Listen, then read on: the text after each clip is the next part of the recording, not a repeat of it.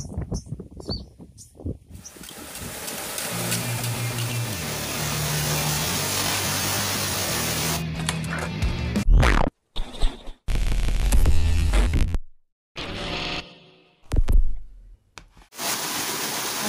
warahmatullahi wabarakatuh.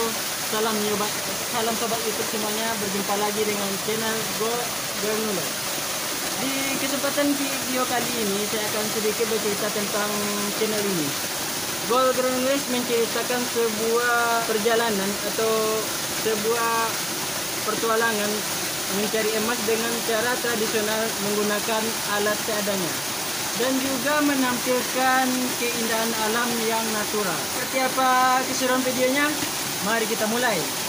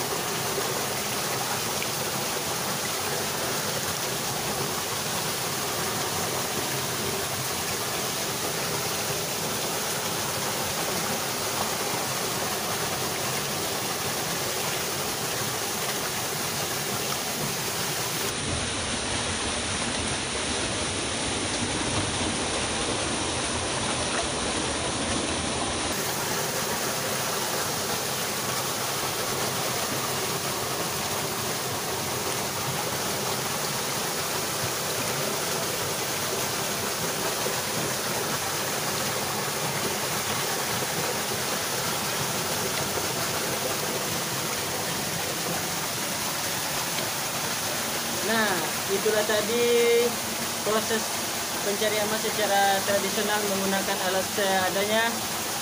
Semoga menghibur sobat YouTube semuanya. Dan jangan lupa saksikan, saksikan keseruan video kami selanjutnya. Sekian dan terima kasih. Wassalamualaikum warahmatullahi wabarakatuh.